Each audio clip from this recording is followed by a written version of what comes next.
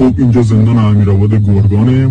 مردم مجبور می‌کنن که تنها از یه فروشگاه بخریم برای زندانیامون. و اینکه همون فروشگاه قیمت رو چند برابر میگه. هم مردم مجبور می‌کنن که از یه فروشگاه بخرن همین که اون قیمت رو چند برابر میگه اون فروشگاه. انگار سر گردن است. اینجوری خانواده زندانیان رو اذیت می‌کنن.